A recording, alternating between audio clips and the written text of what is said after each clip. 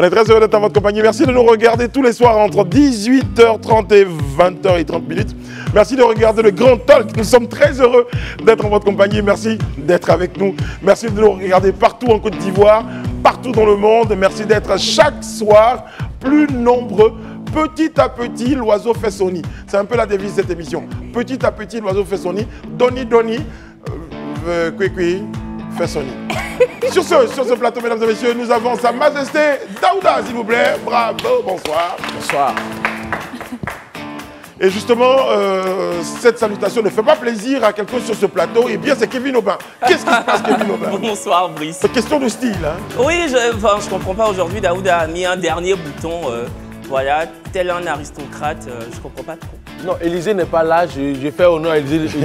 Il manque que la veste pour mettre les idées en ordre. Ouais, exactement. Voilà. exactement. qu'on qu trouvera certainement en, train de rechercher quelques des filets sociaux. Je sais, je l'adore, Élysée. mais moi, quand j'aime les gens, je leur tape un peu dessus. Bon, alors, il y a, il y a la splendide Isabelle Vauvor. Bonsoir Isabelle, comment ça va? Salut Brice, salut à la team, salut chez vous. Alors, pour nous qui avons la chance quand même de, de, de pouvoir avoir une vue d'ensemble sur la tenue, je peux vous dire qu'on n'est pas loin, pas loin de la robe des chambres. Non, mais c'est un styliste euh, qui l'a fait, c'est très sympa et euh, je, peux dire le, nom. Oui, bien sûr. je l'ai acheté chez Couleur Concept, euh, voilà. Chez Couleur Concept. Ouais. Et c'est vraiment. C'est un concept. Voilà, c'est très bien, on, apprécie, on apprécie. Ils sont même allés chercher le plan de haut. Sérieux Parce que, les, gens, ils veulent, ils veulent, ils se mettent à la place des téléspectateurs. Vu que j'en ai parlé, ils ont envie, ils ont envie, ils ont vu, ils ont vu. Voilà, on a dit Vini, Vidi, Vici. Je suis venu, j'ai vu. J'ai vaincu. Très bien. Bravo, Daouda. Bravo. Euh, Mélissa JJ, mesdames et messieurs. Allez, la JJ. Mélissa JJ. Oh, Mélissa. Ça faisait longtemps. Ça faisait longtemps, ça faisait longtemps. Et je pense que le temps, c'est l'autre nom de Dieu. Il n'y avait pas de meilleur moment pour vous avoir à nos côtés, pour nous illuminer de votre sourire, de vos idées. Et euh, nous sommes très heureux de vous avoir à nos côtés, Mélissa. Ça me fait plaisir. Parce que les gens me posaient la question, mais on a vu une dame sur la bande-annonce. Certains ont fait des bisous à cette dame. Mais où est-elle? Je leur ai dit, calmez-vous, calmez-vous. Elle est là. Elle est avec nous ce soir. Merci, Mélissa. Bon, les amis, euh, nous sommes très très heureux de vous savoir à nos côtés, justement, sur nos pages des réseaux sociaux. Aujourd'hui, on va lire beaucoup les messages euh, de, nos, internautes parce que certains se sont plaints du fait que leurs messages ne soient pas lus, ne soient pas pris en compte, euh, eux, par rapport à d'autres. Donc, je pense qu'on va être... on fait un coucou très particulier, très spécial, j'y arrive, à nos, à nos internautes ce soir. et voilà. Euh, on, va, lire vos, paroles, euh, vos messages sur nos pages des réseaux sociaux. Et, bien, les amis, ma grande, euh, ma grande révision eh bien, s'intéresse à, un fait. un fait. Ça s'est déroulé à Dakar. Tiens, aujourd'hui, c'est. Je sais, vous avez l'occasion. Non, il y a des jours avec et il y a des, jours, jours sans. Oui, des jours sans. très, très bien. Et vous, vous savez de quoi vous parlez, mon cher Kevin. C'est pour ça que je vous ai autant dans mon cœur. ça va bon, Kais Bloom se serait fait. enfin, il a dit sur sa page, euh, il a été battu donc, euh, à, Dakar. C'est ça, à Au Sénégal, et eh bien, euh, parce que une force de l'ordre d'un policier l'aurait bousculé.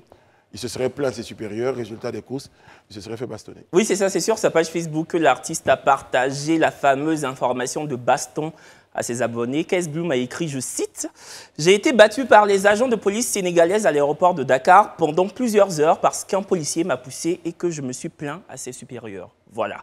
Après, nous n'avions pas eu et nous n'avons toujours pas la version de la police sénégalaise, mais bon, c'est assez courant pour être relevé. Hein. Ce n'est pas la première fois que Kess Bloom est empêtré dans des mésaventures quand il décide d'aller se produire euh, à l'extérieur, en tout cas dans la sous-région va savoir pourquoi, au Cameroun, il aurait été pris en otage euh, par des promoteurs de spectacles qui refusaient de lui verser la totalité de son cachet avant qu'il ne monte euh, sur scène. Récemment, au Burkina, euh, il y a 2-3 semaines, un jeune homme a fait un post pour dire en fait que Case Bloom a pris 1 million de francs CFA pour juste venir à l'anniversaire de sa cousine, sauf que finalement, l'artiste ne s'est pas pointé à l'anniversaire. À défaut de sa présence, Case Bloom aurait proposé de faire une vidéo, voilà, pour pallier à sa non-venue. Et maintenant, c'est une histoire de baston à l'aéroport du Sénégal. pour un artiste, qui plus est, un artiste euh, qui chante l'éternel des armées. C'est assez spécial. Mais écoutez, euh, ceci s'appelle dans notre euh, jargon chrétien, ça s'appelle euh, des épreuves, ça s'appelle des combats, euh, ça s'appelle des, des attaques. C'est le mot que je cherchais. Mais il en sort toujours vainqueur. Ça. Il en sort toujours plus fort. Et d'ailleurs, KS Bloom avait promis hein, euh, de, de faire un direct sur sa page euh, pour parler de l'affaire du Sénégal, donc à 18h. Donc jusqu'à 18h30 avant de monter sur le plateau. Ouais, nous on a checké, ouais. hein, sa Oui. page euh, dans l'attente de, de ce direct. Mais bon, en même temps, euh, euh, vous savez, des personnes peuvent être, euh, et, ça, ça n'a- n'arrive pas qu'à KS Bloom. Au, Burkina, on a eu également le fait euh, Eunice Union avec euh, un policier, parce qu'ils estimaient euh, à l'époque que la tenue euh, que Union avait portée n'était pas euh, totalement euh, Décente décente pour pouvoir euh, monter, dans ce- vous utilisez des, des jeux de mots, n'était pas décente pour monter dans un avion. Et, et, malheureusement, il y, a eu, il y a une rixe avec les, les- les forces de l'ordre. Mais ça arrive, même avec nous, chacun d'autre, c'est pas forcément c'est passé KS Bloom, parce que vous-même, je suis sûr Oui, que mais avez- Brice, quand ça arrive une seule fois, d'accord, mais quand c'est trois fois dans trois pays différents, on peut aussi se poser la question de savoir pourquoi cet artiste est toujours embourbé dans des Mais, mésaventures. pas, mais non, mais non, Bah mais, si. mais je veux dire, une Mais première fois, j'ai eu moi des soucis au Burkina avec un promoteur. Une autre fois au Maroc, euh, à- pour Marrakech, j'ai eu un problème avec euh, euh, quelqu'un qui s'occupait de la sécurité à l'aéroport. Une troisième fois, euh, certainement en Guinée-Bissau. Donc, je veux dire, euh, Ça arrive. Mais mais pourquoi c'est toujours la même, la même personne Mais non, Kérosène a eu des. Y a, il y a des Oui, mais en fait, au-delà de tout, il n'est pas le seul artiste ivoirien qui, qui, qui, qui, qui part chanter à l'étranger. Maintenant, en fait, moi, la, la problématique que je pose, Oui, en mais fait, pour, pour comparer, pardon Daouda, pour comparer le problème, par exemple, du promoteur euh, euh, avec lequel KS Bloom a eu des problèmes Au Cameroun euh, au Cameroun, Kérosène, par exemple, a eu des mêmes problèmes. même Arafat aussi. Ben voilà. si on veut. Quand vous dites tout le temps la même personne, c'est. Mais regarde, en fait, le problème quand on dit tout le temps la même personne, il faut regarder la périodicité, en fait. Pour certaines personnes, c'est pas. en- je dis, dans la même année, ça fait la troisième fois, KS Bloom. Moi, je ne dis pas qu'il a tort, je ne dis pas qu'il a raison. Mais j'estime qu'à un moment donné, même si on est artiste, quand on va dans le pays des gens, souvent, il faut pouvoir se conformer aux règles. On n'est pas forcément à Abidjan. Souvent, à Abidjan, nous arrive de dire des choses aux policiers, aux gendarmes, bon, qui eux te connaissent. Ils voient que tu étais à l'aéroport. Je pense que le contrôle est assez strict. Il y a, beaucoup de contextes qui, rentrent en ligne de compte à l'aéroport. Donc, je veux dire, il faut aussi faire attention à ce qu'on fait. Je ne dis pas qu'il a tort. Je dis simplement que quand on sort de notre pays pour arriver ailleurs, il faut prendre en, en- en compte les contingences là, de, ce- de ces pays-là. T'inquiète, tu peux dire qu'il a tort. Hein. C'est pas Didier Drogba. Il ne faut pas te. Bah oui. Je n'ai pas dit qu'il a tort. Après où je te rejoins, je suis d'accord qu'à Rome, on fait comme les Romains. Donc, il y a sûrement des règles. Je ne veux pas sortir, on n'a on n'a pas tout- toutes les informations. D'ailleurs, il est en direct finalement. Elle est en direct. Oh, donc on va, on, va, on va suivre ça. Ouais. Donc avant la fin de l'émission, on va- on va commenter ce qu'il nous a dit. Bon, déjà, il n'est pas ponctuel. Il a annoncé en direct à 18h pétote. Il est Oh là là, 18h46. Déjà, là, il y a un gros problème. en Non, que termes de communication, c'est assez limite. Non, peut-être qu'on peut mettre ça sur le compte peut-être de la connectivité, de la connexion. En fait, D'accord. après, je pense que jusqu'à la fin de l'émission, on aura le fin mot de cette De histoire. Voilà. En tout cas, nos équipes, nos équipes euh, éditoriales suivent euh, le direct et on aura, on aura l'information. Mais en tout cas, c'est dommage, hein, c'est dommage euh, que notre compatriote se retrouve dans cette situation parce que on en parle comme ça, mais vous imaginez dans un pays étranger face à des forces de l'ordre et que vous recevez des coups. Franchement, euh, même dans votre propre pays, quand vous recevez des coups, suivez mon regard. Quand vous êtes dans un Oui, moi j'ai été tabassé par la police. voilà, c'est pas joyeux, mais à plus forte raison, Oui, dans un à l'étranger, oui. C'est une situation qui est déplorable. hein. Quelles que soient les raisons, qu'on arrive à ces, à ces extrêmes-là, je pense que c'est déplorable. Et euh, bon, on, on- on aura le, le fin mot de cette histoire. Bon, alors, euh, notre euh, message numéro 1 vient d'Amouri Aboubakar Konaté, qui nous a dit bonsoir tout le monde. Donc, tout premier message Bonsoir. de notre, Bonsoir. euh, de notre connexion. Euh, Patrick Ngodo nous dit félicitations. Euh, Cheikh Mandé Djata Sissé nous dit faites, euh, faites mon coucou en, nu- en 1 parce que là je rentre en classe comme ça. Là il est juste en pour regarder le début de l'émission avant de rentrer en classe. Bon et puis d'autres, André Trésor, euh, Yeti Ouattara, euh, Paula Malaki et euh, Absolute Positivité euh, sont sur notre page des réseaux sociaux. Je, je vais lire le message. euh, tiens, Absolue euh, Positivité. Ah ouais.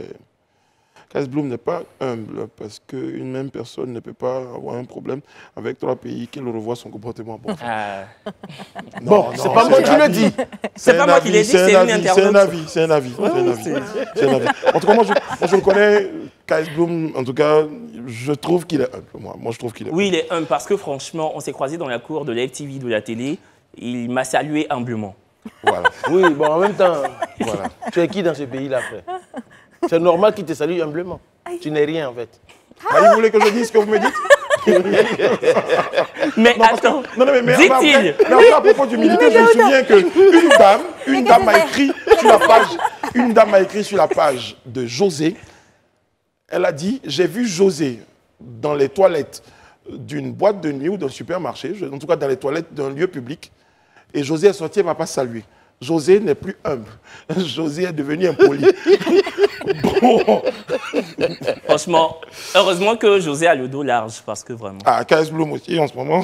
Il a le dos large. Tiens, on a un petit Kais Bloom là quand même. C'est Dieu qui a.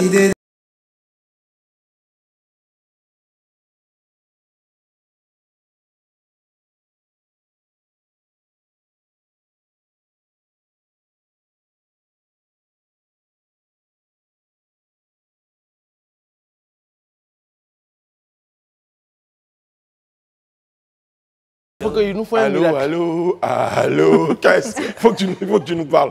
Bon, je crois qu'on on l'aura, on l'aura en ligne, on l'aura en ligne, je, je peux vous le dire. Bon, ça, son humilité. Bon, sur ce, on m'a montré que euh, moi seul en train de me débattre et j'ai goûté. C'était pas très, c'était pas très gentil de la part de la Réal. Sur ce, la vidéo du jour, euh, ce sont les vérités du président burkinabé. Et c'est à Ouagadougou euh, que nous nous rendons pour la suite. Regardez la vidéo, on la commente juste derrière tout de suite. Il faut que chacun fasse son introspection et se rende que nous sommes les coupables de cette situation. On est libre de parler, de dire ce que nous voulons. C'est la, démocratie, c'est le droit, c'est tout. C'est tout ce que nous connaissons à Ouagadougou. C'est pour dire que la solidarité a disparu au Burkina. On ne voit que nos villes. Nous sommes responsables de ce qui nous arrive. Et nous serons entièrement responsables de ce qui va suivre. Soit c'est du bon ou c'est du mauvais, ça dépendra de nos comportements dans le futur. Chacun n'a qu'à donner le meilleur de lui-même. Et je pense qu'on peut y arriver. Je suis optimiste, j'ai foi. Et Inch'Allah, on va y arriver. En tout cas, cette intervention du euh, président de la transition burkinabé, le capitaine Traoré, a ému plus d'un.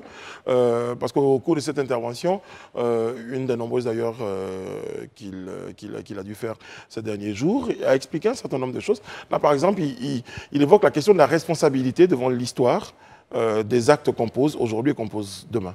Oui, c'est pas faux, parce que quand tu regardes dans quel contexte le Burkina se trouve aujourd'hui, ils sont face à des djihadistes qui, qui, qui sont dans le pays depuis de nombreuses années.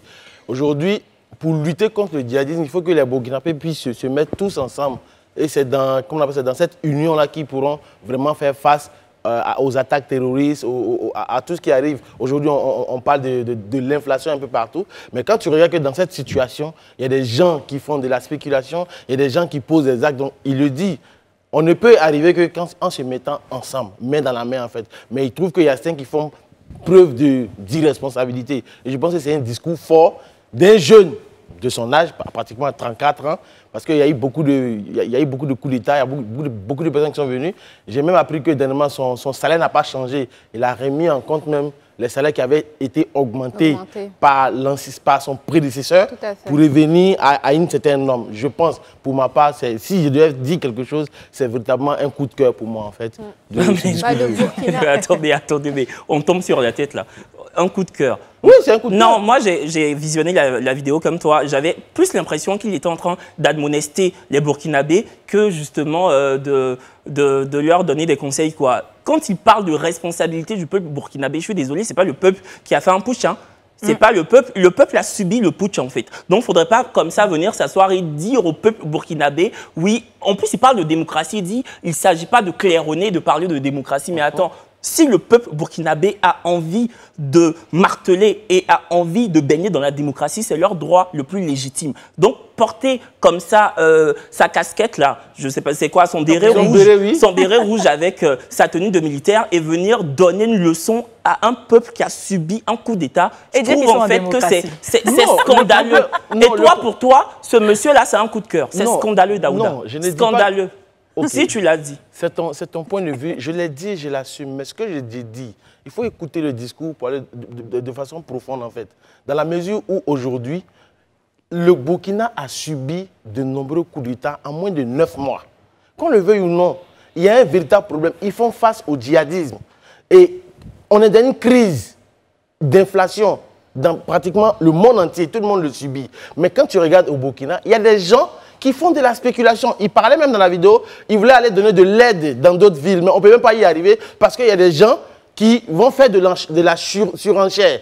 Mais pour que le Burkina puisse sortir de sa léthargie, le Burkina puisse sortir de cette crise qu'elle subit depuis des mois, peut-être des années, à un moment donné, il faut qu'on se mette main dans la main. Et c'est ce discours pour moi qui est un coup de cœur. Je ne, rentre pas dans le débat de eh, coup d'État, démocratie. Il rentre pas dans ce débat-là. Parce que le problème que vit le Burkina, l'Afrique tout entière le vit. Parce qu'aujourd'hui, en Côte d'Ivoire, même ici, pendant qu'on se bat pour sortir d'une certaine léthargie, il y a des gens qui veulent faire de l'argent sur la souffrance de d'autres personnes. C'est de ça que je parle, c'est ça qui est mon coup de cœur et je l'assume pleinement. Euh, Isabelle et euh, Mélissa. Oui, bon, Burkina, pays des hommes intègres, euh, moi j'ai envie de dire que le discours qu'a tenu le président burkinabé est un peu un aveu de faiblesse parce qu'il se met devant le peuple et il reconnaît en fait qu'il ne pourra pas y arriver tout seul et que son bilan, son bilan sera, sera, sera, euh, comptable, sera comptable en fait de, de la population. Donc à un moment, à un moment donné, euh, je veux dire, c'est un aveu de faiblesse, il l'avoue, mais il faut, faut aussi qu'il prenne ses responsabilités en main. Il a, il a fait un coup d'État. Il faut qu'il assume en fait euh, toutes les, tous les, conséquences. les, conséquences. en fait que, que, ça va, que ça va engendrer. À, votre avis, euh, bon, je, prends l'avis déjà de Mélissa avant de, revenir avec une question. Ben, moi, je pense que je suis un, melting pot. Je mélange un peu tous les avis parce que je pense que dans le fond, quand il appelle à la solidarité de tous les Burkinabés, sur ce, on ne peut pas blâmer un tel message parce que je pense qu'il soit venu euh, en tant que putschiste ou qu'il ait été élu par euh, la population, n'empêche, appeler les, les, Burkinabés à être solidaires et à se serrer les coudes face à une situation économique et politique difficile, je peux comprendre, je peux l'entendre, et c'est le rôle d'un président de toute façon d'essayer de fédérer sa population. Maintenant, effectivement, on parlait de démocratie et arriver en même temps par un coup d'État bon, c'est, ça fait preuve d'un peu, de sarcasme. bon, mais en même temps, euh, y, a-t-il un calendrier euh, des élections qui a, été, qui a été présenté? Il y a un chronogramme Il y a des. non, je, pense que le capitaine Ibrahim Traoré s'est inscrit dans la même lignée que euh, Damimba à son temps, parce qu'il avait dit qu'il allait suivre ce chronogramme-là, en fait. Donc, je pense qu'ils vont, avec la CDAO, ils ont eu à discuter, ils vont suivre ce chronogramme. Rien n'a encore changé jusqu'à présent. Voilà. Très bien. Et puis, dans, la foulée, il y a des mesures. Hein. Euh, il garde son salaire de, il garde son salaire de capitaine, donc il n'y a pas d'émoluments spéciaux euh, en tant que président de la transition, contrairement à d'autres. Euh, il, permet aussi aux ministres, les, ministres vont reverser un pourcentage de leur salaire pour aider les populations les plus vulnérables. Bon, il essaie, il essaie de, Je pense que faire ce qu'il peut pour apporter euh, son soutien à sa population. Et comme disait Mélissa, de fédérer l'ensemble des énergies. Euh, parce que les, vrais défis qui se présentent euh, au Burkinabé sont la pauvreté, la lutte contre le djihadisme, sont, les maladies, sont, bien d'autres choses. En tout cas, le, compris. le plus important, c'est de revenir à l'ordre constitutionnel le plus tôt possible. Voilà. Très bien. Bon, les amis, je ne sais pas, qui, qui habite aux encablures du camp d'Agban? Est-ce que vous avez entendu des tirs hier soir? Euh, Moi, non. non. Moi, je n'ai pas entendu, mais j'habite pas un peu trop loin quand même. Voilà. Non, c'était plutôt dans la journée, non? Oui, ouais, c'était dans la journée d'aujourd'hui. C'était dans la journée. Ce, jeudi 17, en fait. Ben oui, parce qu'un internaute affirmait donc avoir entendu des tirs euh, au niveau de euh, la caserne militaire de la gendarmerie d'Agban. Il s'agissait de tirs, selon cet internaute, de forte détonation, pour certains, des tirs d'armes automatiques et d'autres type d'armes C'était de, vrais tirs, en fait, au niveau du, camp, dans, du camp de gendarmerie d'Agman. On n'en a pas su plus Voilà. Non, en, gros, c'était c'était des exercices, en fait. Puisque au sein du camp d'Agban, ils ont leur camp d'entraînement. C'est un peu comme à la police nationale. Mais malheureusement, ce que la gendarmerie n'a pas fait, ils n'ont pas, fait de communiqué pour annoncer qu'ils allaient faire des exercices au niveau de la gendarmerie d'Agban. Sinon, pour ce qui concerne la police et autres, quand ils doivent faire des entraînements au niveau de, de, de, l'école nationale de police, ils font un communiqué pour annoncer aux gens, si vous entraînez des tirs, il n'y a rien de grave. Mais malheureusement, pour ce qui concerne Agban, ils n'ont pas fait de communiqué. Les gens ont entendu des tirs. Et quand on se rappelle, un certain euh, 19 septembre 2002, ça a Agbanké, ça a commencé. Je pense que si tu entends... Non, c'est vrai. Parce que c'est à Agbanké, ça a commencé. Donc quand tu entends des tirs d'armes euh, automatiques et d'armes lourdes, à un moment donné... Ça crée la panique dans la Ça crée la population. panique de la tu, population. tu parles d'armes lourdes. Moi, j'ai contacté justement un gendarme qui travaille à la caserne d'Agbon. Il m'a confié qu'il ne s'agissait absolument pas d'armes lourdes ou d'armes de guerre, comme justement on a pu Mais le dans lire sur Donc Internet. on est d'accord que c'est une manœuvre, euh, c'est un exercice. Oui, il s'agit bel et bien d'un cours mais Parce que vraiment utiliser des armes lourdes pour faire un exercice, ah, ça sonnait Tout dépend, peu de, bizarre tout dans dépend de la détonation que tu entends. Non, mais c'est surtout, tout dépend de la perception du- de l'internaute qui, lui, s'est assis dit ça, c'est une arme lourde. Voilà, c'est ça, exactement. De guerre. Alors qu'ils n'en sait rien. Donc Voilà. j'ai j'ai appelé, ils m'ont bien justement euh, rassuré, ils m'ont dit qu'il ne s'agissait pas d'armes de guerre. Donc euh, c'est encore des spéculations pour discréditer les forces de l'ordre. Moi, je ne comprends pas cette nouvelle manie que certaines personnes ont. Non, mais est-ce que, là, vous vous Non, imaginez pas- que c'est pour pas- si, si, si, Ils ont quand même entendu, ils ont quand Si, même entendu des... bah oui, mais tu ne juges pas qu'il s'agit ou qu'il s'agirait d'armes lourdes. Parce qu'une arme, de guerre, il y en a qui ont même écrit arme de guerre sur Internet. hein. Donc quand vous parlez... Mais la Kalachnikov, c'est une, une arme de guerre. Donc tu penses vraiment que Dès hier... l'instant euh, qu'on tire à la Kalachnikov, quand tu entends des tirs d'armes automatiques, tac, tac, tac, tac, tac, tac, tac, tac, tu vois, avec une certaine cadence, mais pour mais, des gens... mais moi, le monsieur m'a non, c'est vrai que le monsieur t'a dit, le, le, le monsieur t'a dit... Qui est tout à- gendarme, qui qui est gendarme, mais lui, tout à l'heure, il- a demandé qui habite aux, aux encablures de Agban. Il y a une différence entre un militaire, un policier qui entend des armes, des, des- des sons d'armes, et un civil qui entend... perception. Il y a, y une où je, perception. où je rejoins Daouda, c'est qu'on Oui. est tous un peu, euh, on a la mémoire collective de tout ce qu'on a, de 2002, tout ce qu'on a, eu à de tout ce qu'on a traversé. Donc pour nous, entendre, oui, on est traumatisé, donc entendre des coups de feu, que ça soit euh, une arme semi-automatique, automatique, de guerre, pas de Même guerre, fusil de chasse, même. on est en panique. Oui. Mais en si on n'est pas de- informé. de- je veux dire, depuis la nuit des temps, il y a un centre de tir à la caserne. Vous, vous le savez ou pas? Tout le monde le sait. ou, ou donc, je ne comprends pas comment on peut s'émouvoir que des On gendarmes... parle de Parce l'absence que- d'un je veux terminer. communiqué. Non, parce que tout simplement, le, quand- le ministère de la Défense et le, mi- ou le ministère de l'Intérieur, quand il doit avoir des exercices d'un certain niveau, ils prennent la peine d'informer la population. Il y a un communiqué. Quand on doit, on doit prendre des d'un certain de- niveau. Mais comment toi, Daouda, en tant que civil, qui n'a même pas entendu le bruit, qui n'a entendu aucune détonation, Uh-huh. comment toi, personnellement, tu peux évaluer le niveau des tirs? Alors moi, je vais trancher. Oui, je vais et- trancher. Parce qu'on pense dirait que ça relève je totalement pense- de l'absolu, Je là. pense que Je la- veux savoir. moi, la leçon que je tire de, de- de cet événement, c'est que niveau faible, intensité faible ou élevée, il devrait communiquer lorsqu'il y a Pour un éviter ce genre de entraînement. spéculation. Pour éviter ce genre de Mais euh, spéculation. là où certainement vos camarades n'étaient pas d'accord, mon cher Kevin, euh, c'est quand à l'intention de peut-être jeter le discrédit euh, sur forces de l'ordre. C'est à, à partir de là que ça a peut-être été Oui, nuancé. mais parce que moi, j'ai lu ce matin sur Facebook notamment, hein, qui est l'épicentre de toutes les informations tribunal calomnieuses de Côte d'Ivoire. Euh, j'ai lu en mode irresponsabilité des gendarmes. Donc oui, pour moi, c'est discréditer nos forces de l'ordre, qui plus est sont nos gardiens de la Mais paix. quand en vous fait. parlez d'irresponsabilité, on n'ira pas jusque-là. C'est mais- pas moi qui l'ai dit, je l'ai Oui, je sais, mais donc vous imaginez que, enfin, je, je- je résume. Vous dites, euh, si les gens disent qu'il y a irresponsabilité, c'est jeter le discrédit. En même temps, on dit, les gens n'ont pas communiqué. Et donc, ça crée la panique. Donc, quelque part, il y a peut-être eu. Moi, j'ai pas eu de communiqué. Parce que Je sais pas je sur ne sais pas si tu vois le Oui. coin de Agban, Willy, Agban, pour aller vers Adjamé. Quand tu as le matin déjà, à ce niveau-là, il y a un bouchon. Il y a un bouchon juste pour, pour faire la bretelle. Donc imagine-toi, dès 6h, 7h du matin, tu attends des crépitements d'armes. Je te dis, en 2002, pour nous qui vivions à côté, je te jure, frère, c'est là que tout a commencé. Avant de s'étendre partout. Donc, pour quelqu'un qui vit dans les parages, quand tu commences à entendre ces bruits, tu te dis, mais il y a quoi au pays? Bon, alors, Voilà. alors, donc on va, on va revenir et puis on va, on va progresser. Oui, parce qu'il avait commencé à faire de l'infotrafic, là. Il y a un bouchon. Non, mais- bon, pour résumer, donc on souhaite hein, justement pour, pour ce genre de manœuvre, et c'est- d'ailleurs courant euh, qu'on ait des communiqués pour prévenir euh, qu'il qu'il y aura des manœuvres ou qu'il y a des manœuvres en cours. Bon, on n'a pas l'information et malheureusement, ça, ça crée des mouvements de panique dans la population, comme ce qui a été constaté.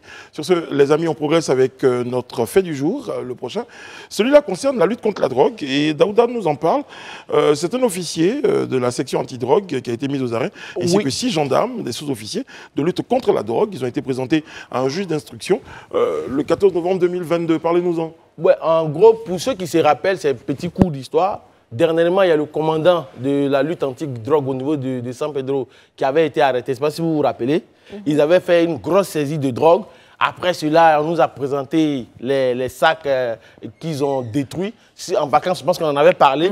Il y en a même qui avaient posé la question est-ce qu'ils vont, ils vont tout garder, tout et tout? Des Perpignans est venu pour rigoler sur la question. Mais effectivement, c'était comme une prémonition. Finalement, il y a M. Nguessambi et ses, des- et ses- et ses- et ses collaborateurs qui, eux, sont, qui sont aussi gendarmes, qui sont dans l'antidrogue, qui étaient chargés de surveiller toute cette drogue-là.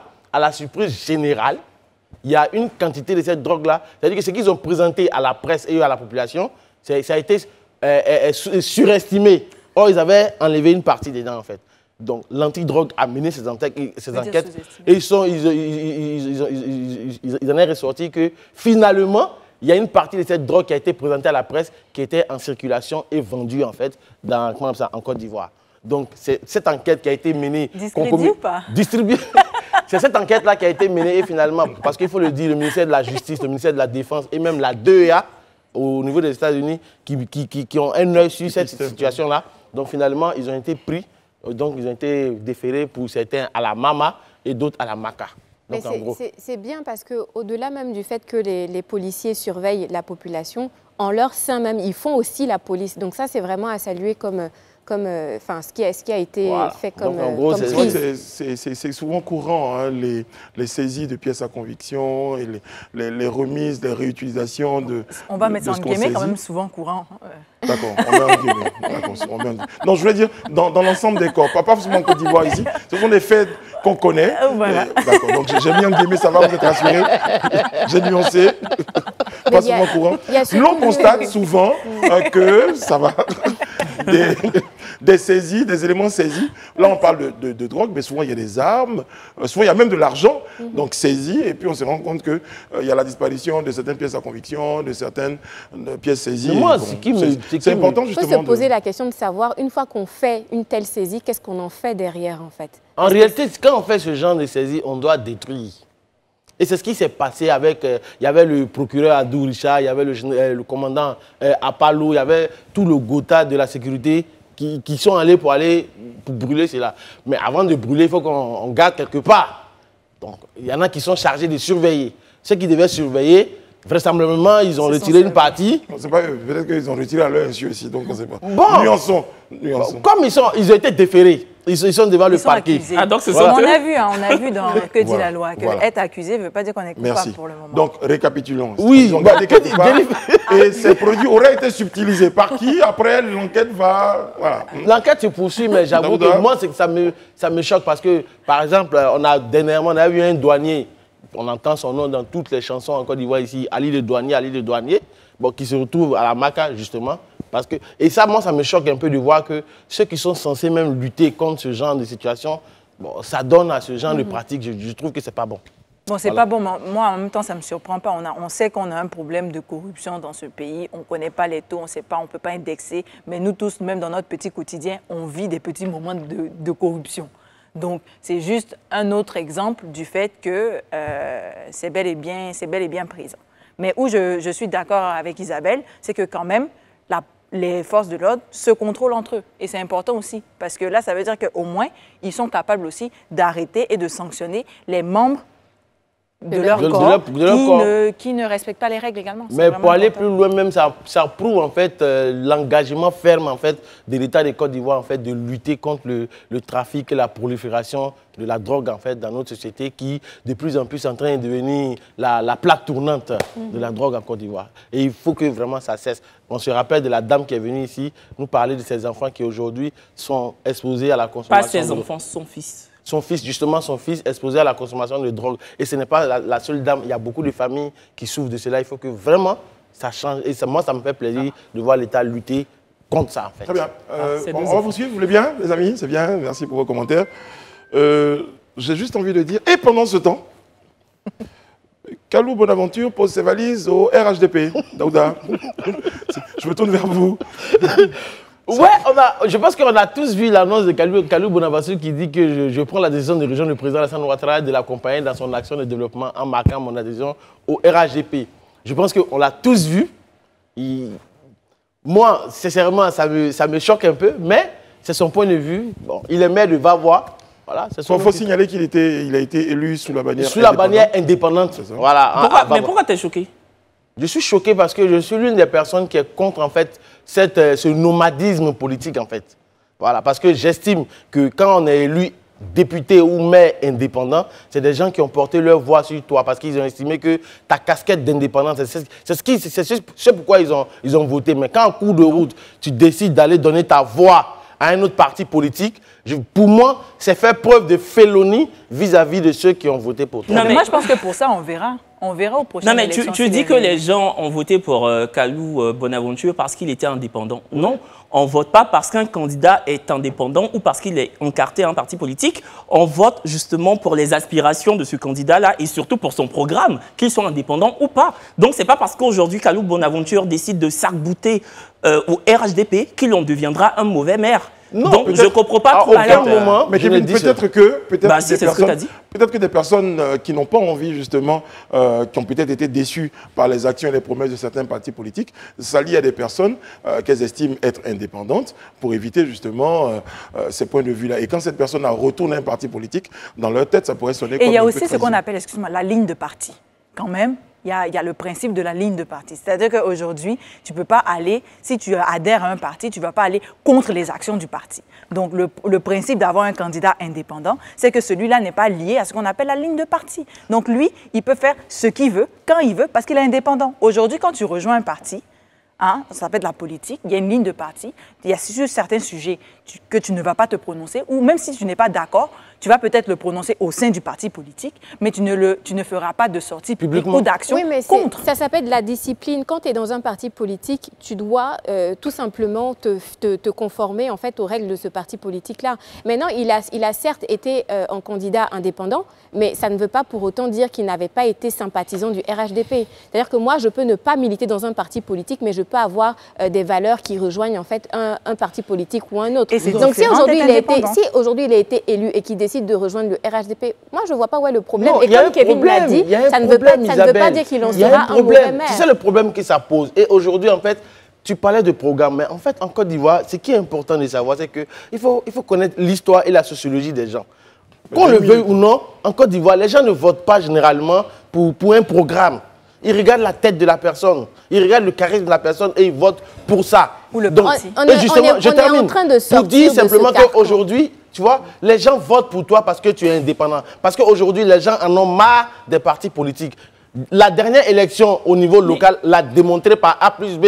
Généralement, sur pratiquement tous les derniers territoires, c'est les indépendants qui ont fait une razzia totale. À la, gr- à la surprise générale, c'était le, le mercato entre le PDCI et le FPI. Chacun venait pour donner sa voix à X ou Y parti. Mais ce que- ce pour qu'il moi, c'est de la traîtrise. ce qu'il faut pour savoir, moi, c'est de que la les- félonie. Ce, non, ce il qu'il faut, faut, savoir, arrêter. ce qu'il faut savoir, c'est que la plupart des candidats indépendants sont issus de partis politiques. Et c'est parce qu'ils n'ont pas été choisis au sein de leur maison mère qu'ils sont allés en Ça n'a pas indépendance. été le cas pour la, Ça si n'a la pas été le la cas pour plupart Kalou. des indépendants qui sont Ça n'a allés pas en été le cas- pour Kalou. Mais D'accord. Ça n'a pas été le cas pour Ça n'a pas été le cas Mais pour lui, mais tu as, donné Ça n'a l'exemple même pas été en le fait, cas d'une multitude de- candidats indépendants.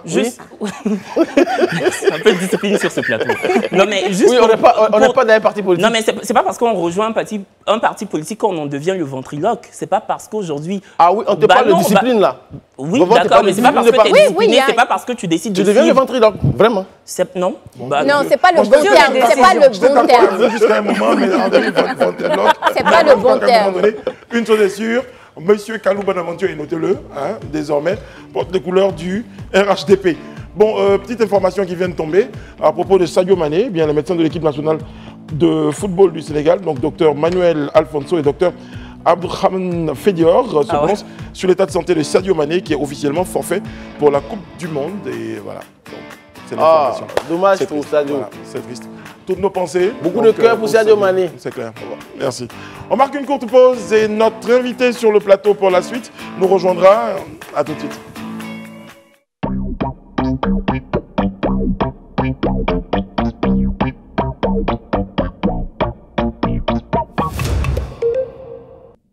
Nous sommes de retour sur le plateau du Grand Talk. Voilà, merci beaucoup d'être en notre compagnie. Je suis en compagnie de Mélissa JJ, s'il vous plaît, mesdames, messieurs. Je suis en compagnie de la magnifique Isabelle Vavor. Je suis en compagnie du très élégant, mais vraiment très très élégant, Daouda Koulibaly, s'il vous plaît. Oui. Ah, il pensait que c'était lui en fait. C'est pas toi. C'est pas Kevin, toi. Kevin, Non, mais j'ai compris élégance. Je pensais vraiment qu'il y avait une vraie corrélation entre l'élégance et moi, mais Non, sais pas mais en fait, c'est pas toi, en fait, malheureusement. Bon, voilà. Le monde Donc, ne je tourne suis pas autour de toi. du tout aussi élégant, sinon beaucoup plus élégant.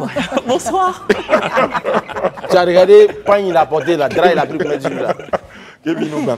Nous a rejoint sur le plateau du Grand Talk euh, docteur euh, Sandrine euh, Crédit, vous êtes spécialiste de l'UNICEF. Bonsoir docteur, Bonsoir. merci d'être en notre compagnie. Merci. Merci, ça nous fait plaisir. Alors, en votre compagnie, donc, il sera question de, de la violence euh, faite aux enfants, ou sinon un monde sans violence donc, et des droits des enfants. Donc, je mets tout ça, parce que quand même, je crois que ça, c'est ça. J'ai toujours été très triste de constater qu'il y a des enfants qui sont victimes de violence. Des personnes si innocentes, malheureusement, sont victimes de violence. Le diagnostic, docteur Et la situation est très alarmante en Côte d'Ivoire parce que nous avons une enquête récente de 2018 faite par le gouvernement ivoirien qui euh, relève que nous avons quand même plus de 60% d'enfants qui sont victimes de toutes sortes de violences. Et quand on parle de violence, on Ça parle de violence physique, de violence sexuelle et de violence émotionnelle. Donc euh, c'est vraiment euh, le moment de vraiment s'arrêter et de voir qu'est-ce qu'on fait pour avancer. C'est ça. Vi- violence euh, physique, sexuelle et émotionnelle. Violence émotionnelle, on en parle un tout petit peu. Oui, une violence insidieuse parce que c'est quelque chose qu'on ne voit pas facilement. Mais c'est toutes les brimades que peuvent subir les enfants, la violence verbale, etc. Et qui ne se manifestent pas comme, je veux dire, les coups qu'on peut recevoir, mais qui peuvent être des injures qu'on dit à un enfant, tu es bête, tu n'es pas intelligent, tu ressembles à ton père, tu es bête comme ton père. Mais voilà, c'est des choses qui peuvent frustrer un enfant et puis qui peuvent malheureusement... c'est injure Voilà. un enfant et balle perdue à son papa. Et Voilà. comment on arrive en fait à avoir ce bilan-là? Comment est-ce qu'on arrive à se ressortir des chiffres euh, de ces enfants qui sont euh, euh, victimes de, de, de violences émotionnelles, par exemple? Bon, il y a plusieurs moyens de le savoir. On a d'abord l'enquête a, a servi quand même à, à questionner beaucoup de personnes et ça a révélé que plusieurs personnes ont vécu en fait des violences durant leur enfance. Très bien. Et donc c'est c'est- c'est- Témoignage. c'est tout ce qu'on a recueilli. Et puis on a des services aussi qui permettent régulièrement de saisir ces données-là, comme les services sociaux, les centres sociaux, également aussi d'autres enquêtes hein, qui existent, comme l'enquête mixte qui, a existé- qui existe depuis 2016 et qui démontre euh, effectivement que les enfants, donc à travers les services, que ce soit l'hôpital, que ce soit la gendarmerie, la police ou les services sociaux, on arrive quand même à avoir des données de routine sur les enfants qui sont victimes. On imagine bien que le nombre est vraiment plus grand euh, quand on sait qu'il y a un bon nombre d'enfants qui n'ont pas l'occasion, la possibilité d'exprimer euh, ce qu'ils ressentent. On C'est très estime que le, le- le Mm. nombre doit être beaucoup plus important. Et finalement, une fois qu'on finit de faire cette enquête, qu'on a des chiffres et que le bilan est alarmant, qu'est-ce qu'on fait? Et donc là, on mobilise tout le monde. Et je pense que c'est vraiment l'objet de ma visite ce soir, c'est qu'il il est important pour nous de nous arrêter et de nous dire qu'est-ce qu'on fait. Parce que c'est l'avenir de la Côte d'Ivoire, c'est des enfants qui sont en souffrance. Et malheureusement, on constate que de plus en plus, la violence devient le quotidien voilà, des communautés et de la population. On en parle comme des faits divers. Et il faut maintenant qu'on s'arrête et qu'on se dise que c'est grave parce que c'est les enfants qui gardent des séquelles et qui deviendraient des futurs parents qui vont malheureusement faire subir ça encore à leurs enfants. Car les statistiques disent que plus de 90% d'enfants qui ont vécu la violence répètent cette violence à l'âge adulte. Oui, Et madame. pas euh, juste sur les enfants, mais sur d'autres Même sur leurs propres enfants. Parce que c'est une manière euh, par laquelle ils ont été éduqués. Bien sûr. Donc ça devient répétitif parce que vous entendez souvent les gens dire mais moi on m'a frappé à l'école. C'est parce qu'on m'a battu à l'école que j'ai réussi à passer les classes. Mais tous les enfants ne sont pas nés de la même manière et ne reçoivent pas toutes ces informations de la même manière. Et ce que Mélissa voulait dire, c'est qu'en plus euh, de pouvoir répéter ces, ces actes sur leurs propres enfants, euh, ce sont des traumatismes de même demain, que, hein. voilà, ces, ces- ces personnes-là, ces séquelles-là qui peuvent agir dans le comportement des personnes qu'on peut retrouver être violentes vis-à-vis d'autres personnes. Tout à fait. Oui, madame, vous parliez d'enquête euh, tout à l'heure. Ce matin, en France, une enquête accable de nombreux hommes de toute classe sociale, âgés entre 26 et 72 ans, des hommes qui s'échangent et consultent des sites pédopornographiques. Il s'agit de lus politiques ou encore même des professeurs qui travaillent avec des enfants. Est-ce qu'en Côte d'Ivoire, l'UNICEF est aussi souvent instigatrice d'enquêtes visant à faire tomber les pédophiles? Il y a beaucoup de mécanismes qui existent en Côte d'Ivoire. L'UNICEF, c'est vrai que nous existons pour assurer que tous les enfants qui soient sur le territoire de la Côte d'Ivoire soient protégés, mais on repose quand même sur les mécanismes qui existent au niveau national. Parce que nous servons, en fait, nous venons en relais à, à ce que l'État de Côte d'Ivoire fait et on n'est pas initiateur. Nous, on a des mécanismes internes au niveau de l'UNICEF qui permettent de signaler des cas de, de violence, mais à condition que tous les mécanismes qui existent déjà sur le territoire national aient été saisis et qu'il n'y ait plus d'autres moyens de recours. Donc, euh, pour les- la pédophilie, on a quand même, je pense, des services comme le- la brigade euh, des mineurs. Je ne sais pas si vous la connaissez, la brigade des mineurs, qui est gérée par euh, euh, le ministère de l'Intérieur. Oui. Vous avez également aussi euh, d'autres services voilà, qui permettent vraiment de, de poursuivre ces personnes-là. Très bien. Euh, notons que la Déclaration des droits de l'enfant date du 20 novembre 1959. Donc depuis cette date, il y a des, des actions qui sont entreprises pour que justement les enfants aient des droits. Justement, à propos de ces droits, est-ce qu'on peut les, les citer un, un tout petit peu? Un, un enfant a droit à quoi? Quels sont les droits de ces enfants-là? Les droits essentiels, Oui, parce qu'il y en a plusieurs. Dans la Oui, Convention, les- vous avez quand même plus de 57 articles qui donnent des dispositions, qui encadrent. Et donc, les droits essentiels, c'est vraiment, on a le droit à la vie, Oui. à la survie, à l'éducation. on a le droit à l'é- à l'éducation, donc à une identité, ça vraiment c'est le premier droit. Parce que sans identité, vous n'êtes personne. Donc avant d'avoir accès à l'éducation, il faut exister d'abord. Et C'est pas voilà donc le droit à la vie, vie. le droit à une identité, le droit à la santé, le droit à- il, y en a, il y en a tellement. Mais les principaux, vraiment, on les regroupe dans le- la survie, le développement, la participation de l'enfant. Il y a toujours une petite, euh, avant de venir certainement à Daouda, allez-y, mais je veux dire, il y a toujours une petite nuance, il y a toujours euh, une discussion qui se fait. Quand votre enfant fait une bêtise et, et que vous lui, vous lui portez main, euh, je sais que dans, dans- dans certains pays, il prend son téléphone pour dire aujourd'hui... Voilà. Qu'est-ce qu'il il a, a il a vu la vidéo où ils sont en train de frapper l'enfant derrière Ah. et il a, C'est il a trop eu un choc. Ah, il y a- ah oui, il y a une C'est pas ce niveau-là, je, je- je tiens. Mais il y en a, il y a Oui. pire que ça. Il y a pire que ça, Ouais. c'est ça. Et, justement, certains aujourd'hui Ah, estiment putain. que euh, porter main à un enfant ne devrait plus être euh, d'usage. Qu'est-ce qu'on répond à cela? Effectivement, nous, on a, c'est vrai qu'on accompagne, débat, cette- là. on accompagne vraiment ces principes.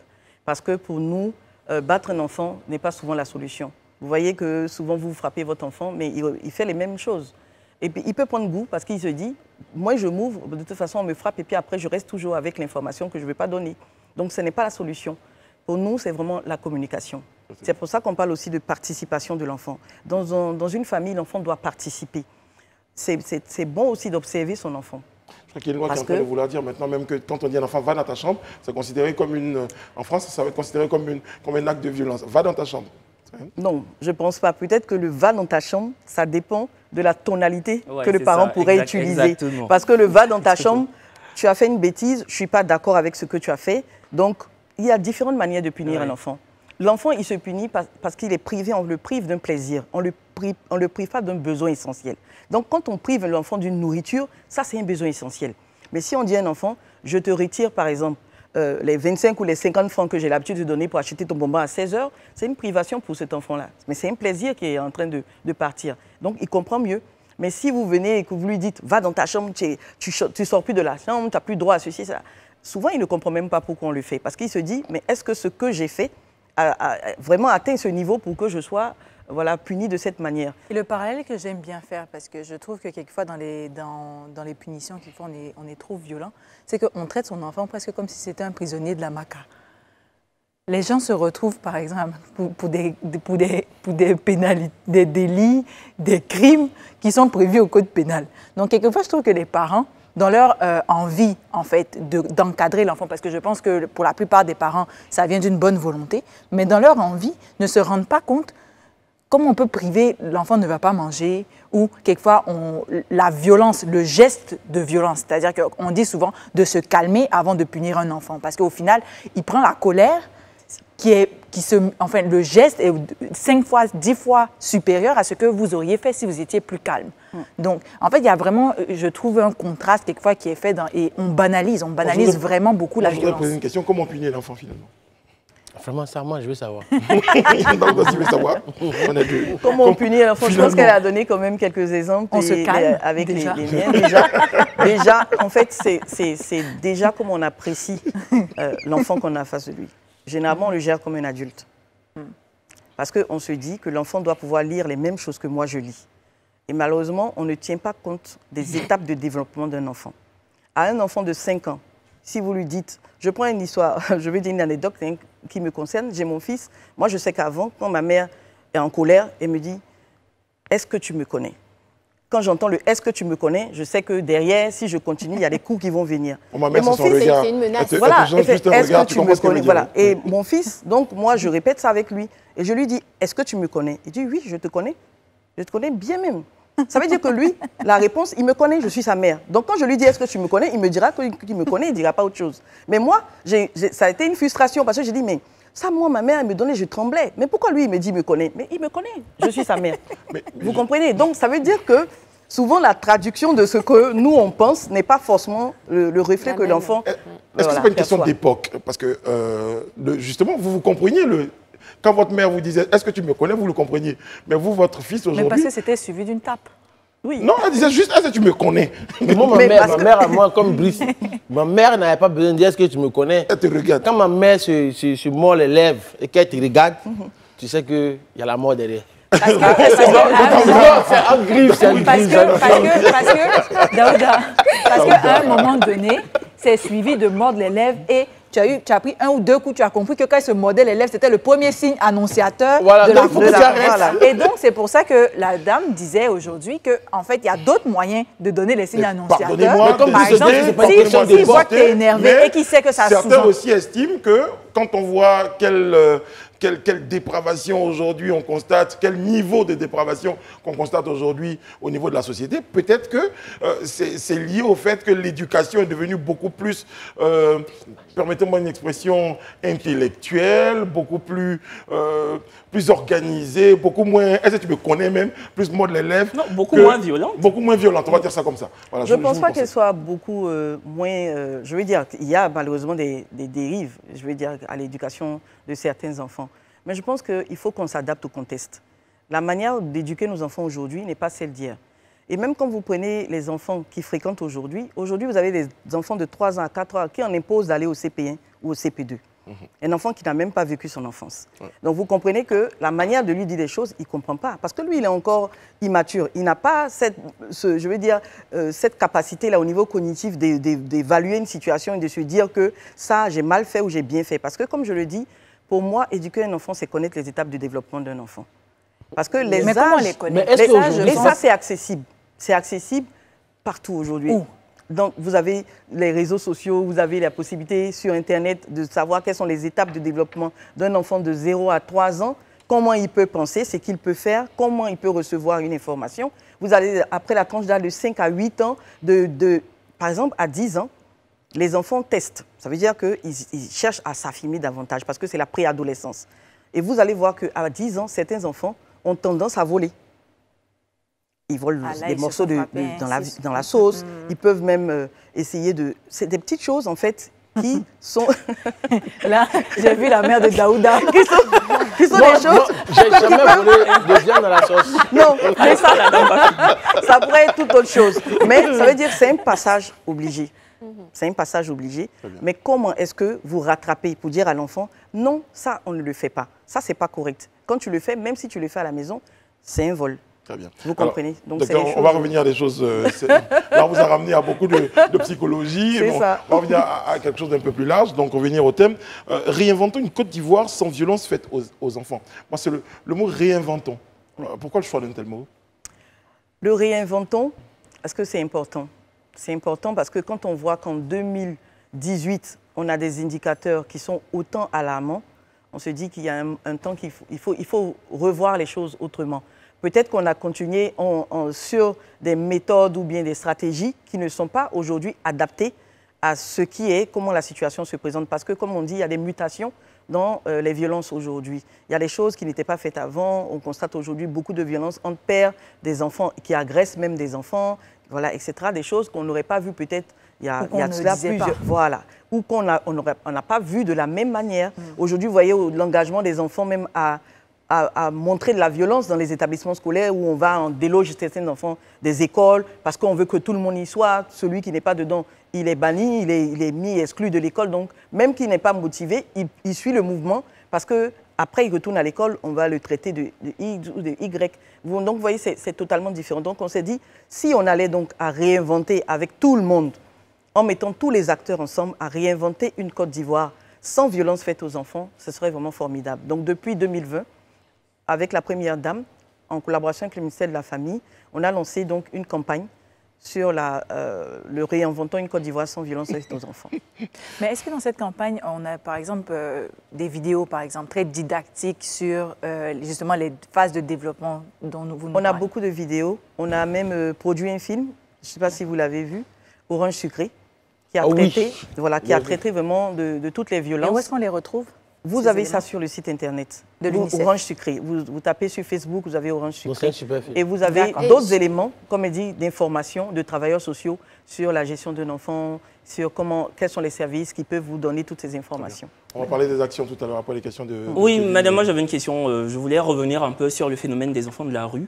Euh, récemment, le ministère de la femme, enfin de- le ministère de la famille, de la femme et de l'enfant a lancé une vaste opération de lutte contre le phénomène des enfants en situation de rue, parce que c'est comme ça qu'on doit dire maintenant. Euh, plusieurs centres d'hébergement ont été mis en place pour recevoir des mineurs. Les enfants issus des pays de la sous-région qui s'adonnaient à la mendicité, eux, ont été confiés à leurs différentes ambassades. Est-ce que euh, pour une opération d'une telle envergure, l'UNICEF apporte un appui aux différents gouvernements des différents pays ou euh, travaille en parfaite collaboration avec ces gouvernements-là? Oui, nous travaillons effectivement en parfaite collaboration parce que la question des enfants de la rue, c'est une question importante en Côte d'Ivoire. On avait quand même, euh, dans les années euh, 2000, euh, des 2000, euh, je vais dire quoi, 10, on avait quand même plus de 3000 enfants qui étaient dans la rue. Et aujourd'hui, notre accompagnement, c'est vraiment un accompagnement technique et financier au ministère de la famille, de la femme qui a le lead sur la question. Et parler des, enfants de la rue, c'est vrai qu'on entend beaucoup le placement d'enfants en institution, mais pour nous, UNICEF, c'est le dernier recours. Donc on travaille vraiment à renforcer les capacités des familles, parce que c'est des familles euh, dont les enfants sont sortis et se sont retrouvés à la rue, parce qu'on n'est pas enfant de la rue. On, est d'un environnement qui n'est plus adapté et qui fait que je veux sortir de cet environnement. Et la plupart des enfants, c'est vraiment des conflits conjugaux dans les familles, etc.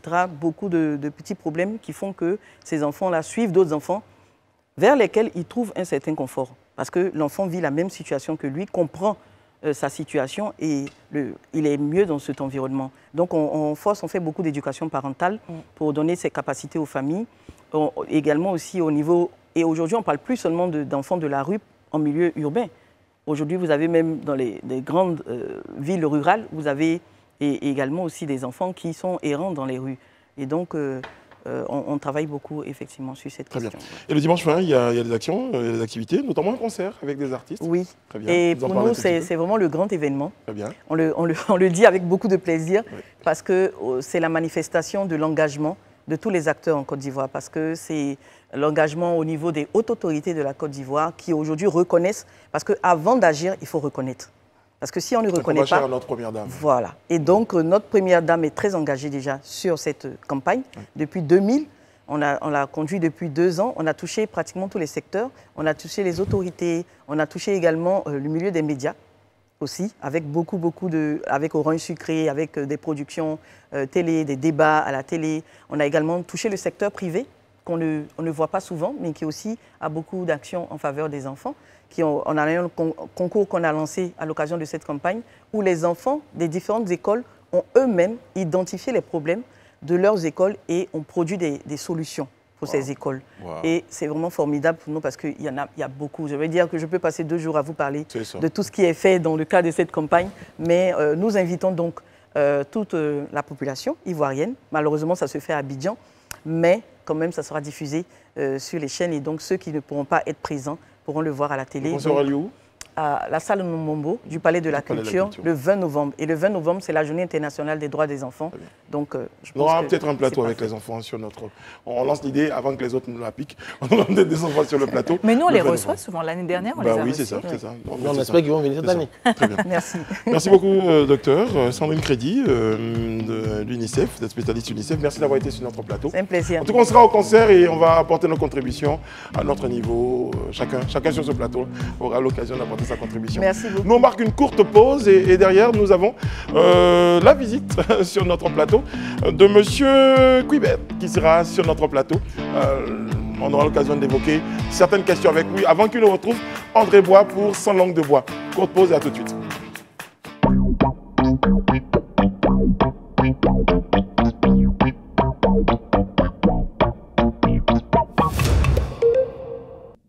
Nous sommes de retour sur le plateau du Grand Talk. Merci de nous regarder euh, sur les canaux numéro 6 de la TNT 206 du bouquet Canal+. C'est le Grand Talk.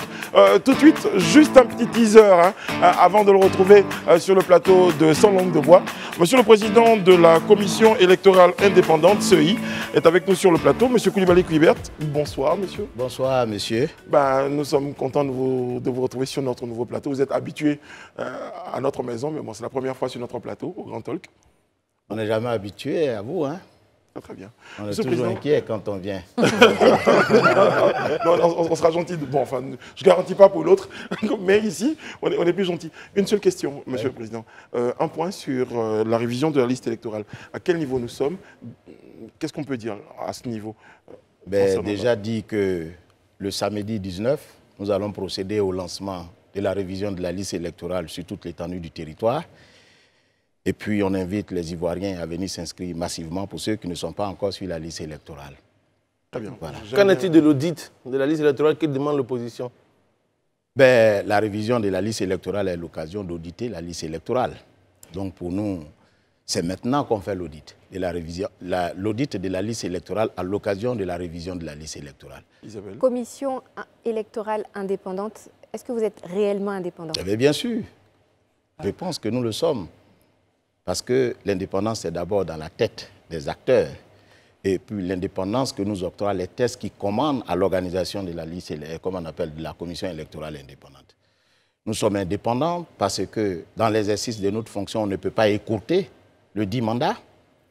Nous sommes indépendants parce que nous sommes irresponsables, c'est-à-dire qu'on ne peut pas nous poursuivre pour les opinions que nous émettons chaque fois que nous travaillons. Nous sommes indépendants parce qu'on ne peut pas nous poursuivre dans l'exercice de nos fonctions. Nous sommes indépendants parce que nous avons prêté serment de fidèlement remplir notre mission. Vous parlez d'indépendance, mais quand on sait que les officines des partis politiques envoient des gens pour les représenter, pensez-vous que ces personnes-là sont indépendantes? Puisque souvent, quand il y a, il y a bruit, ils retirent leur, leur- leur- leur- leur représentant là-bas Oui. Est-ce qu'on peut parler d'indépendance, Monsieur le Président Par le passé, les acteurs de la commission électorale indépendante étaient les représentants des partis politiques. Mais dès à présent, ce sont les partis politiques qui les proposent et dès que ces personnalités sont proposées, elles prêtent serment, rompant ainsi le lien avec le mandat. Donc pour nous, c'est un élément qui caractérise l'indépendance des acteurs de la commission électorale indépendante. Dans tous les cas, messieurs, ce ne sont pas des marchiens qui viendront animer la commission électorale indépendante, ce sont des Ivoiriens, lesquels Ivoiriens appartiennent, qu'on le veuille ou non, à la société. Et ce faisant, sont sensibles au phénomène de la société. Voilà. Ce qu'on demande aux citoyens ou aux acteurs de la commission électorale indépendante, c'est d'exercer leurs fonctions en toute âme connaissance, Alors, pour le principe- en toute conscience. Pour le principe de votre passage à notre rendez-vous, c'est une question par, euh, par chroniqueur. la, la question de Kevin Aubin. Oui, Monsieur le Président, enfin, nous ne sommes même pas encore en 2023 qu'il y a déjà des bisbilles entre les partis politiques. Le PPACI exige presque une vraie représentation, en tout cas une représentation très forte au sein de la commission électorale indépendante à partir d'une certaine vice-présidence. Qu'est-ce que vous en dites, vous? Rien du tout.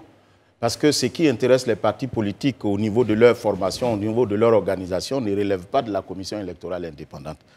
Eh bien, dès que les, partis politiques proposent des personnalités au sein de la commission électorale indépendante, ces personnalités ayant prêté serment deviennent des acteurs de la commission électorale indépendante. Donc ce qui se passe en amont entre les partis politiques, ben, c'est de bonne loi. Les partis politiques se gèrent entre eux, ça n'a rien à voir avec la commission électorale indépendante. Jusqu'à ce qu'une loi, bien entendu, intègre, dise les dispositions concernant les partis politiques. Et en ce moment, la commission électorale se sent engagée. Mais tant que ce n'est pas acté, tant que l'instrument juridique qui commande à l'organisation de la commission électorale indépendante n'est pas touché, nous ne sommes pas concernés. Donc vous ne regardez qu'à la loi, c'est ça? Mais bien entendu, et souvent aux accords entre les partis politiques. Monsieur Koulibaly Kuibert Ibrahim, vous êtes président de la commission électorale indépendante. Nous allons juste vous laisser le temps de vous installer euh, sur notre euh, prochain plateau euh, où André Bois vous attend sans langue de bois. Mais, un petit cadeau pour vous. Je me suis dit, vous ne pouviez pas être sur le plateau sans que le président ne passe vous faire un petit coucou. Bah, Monsieur le président Alasco Bill est avec nous sur le plateau. Monsieur le président, nous vous attendons. voilà, comme tous les jeudis soirs pour nous dire euh, votre part de vérité dans cette histoire de CEI. Et je- je- j'attends le président dans un très court instant. Voilà, vous savez, c'est le président. hein. Qui va, Voilà.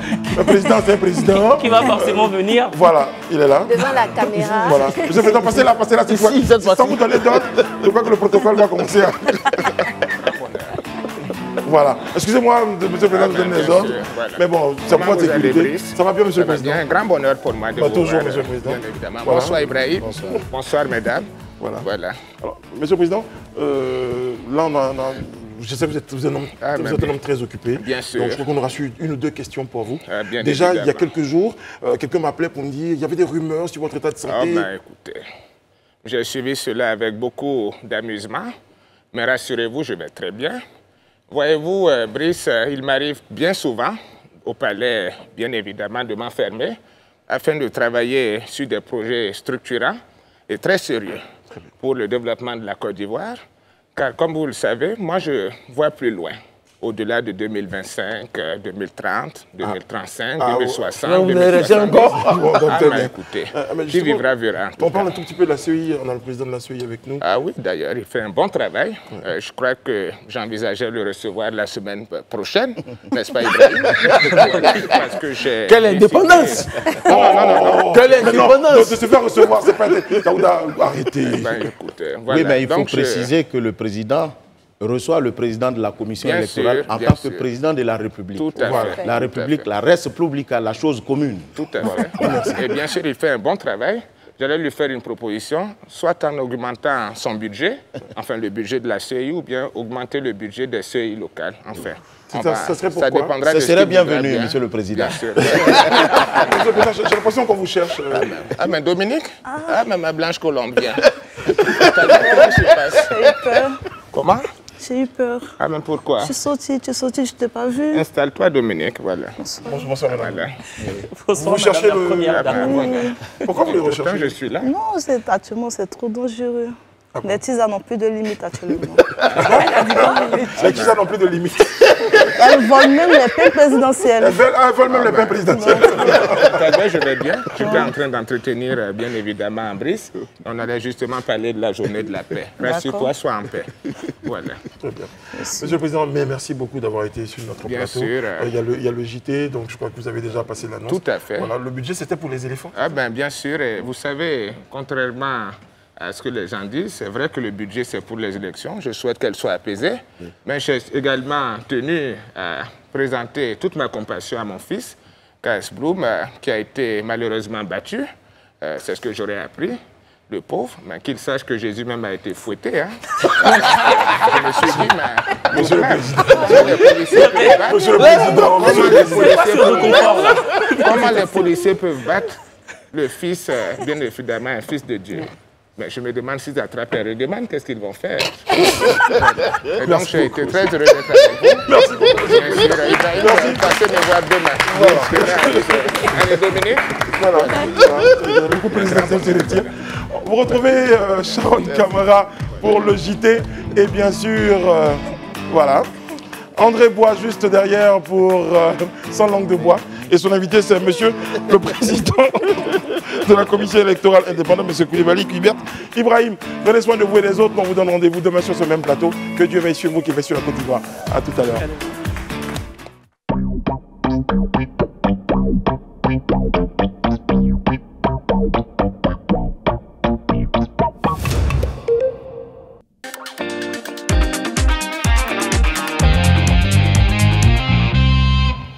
Bonsoir, mesdames, messieurs, soyez les bienvenus sur euh, cette euh, antenne. Nous sommes en simultané, j'allais dire, à événement exceptionnel, dispositif exceptionnel.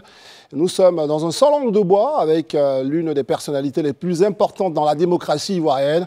C'est le président de la commission électorale indépendante, le président Ibrahim Koulibaly Cubière, qui nous fait l'honneur d'être avec nous. Vous étiez dans la première partie de l'émission. Oui. Merci de nous rejoindre sur ce plateau. Merci à vous aussi également.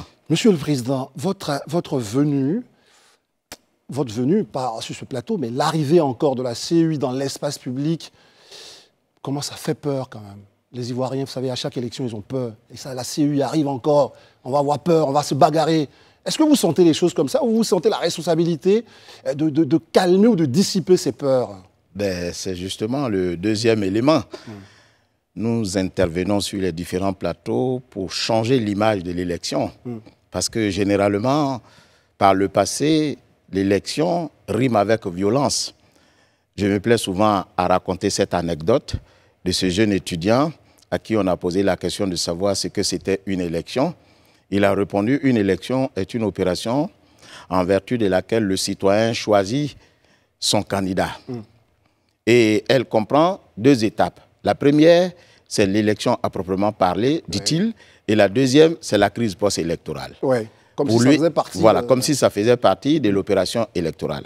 C'est cette image que nous voulons changer. Voilà pourquoi nous sommes sur tous les plateaux.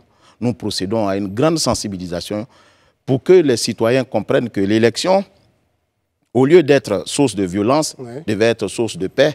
Parce que ça permet aux citoyens de choisir celui qu'ils veulent voir à la tête, soit du pays, soit de la circonscription. Donc ça ne devait pas emporter violence. Bien sûr, mais moi, moi, je, vais, je vais vous chercher un peu là-dessus. Vous savez, cet article 6 euh, qui dit euh, le- la révision se fait annuellement, etc.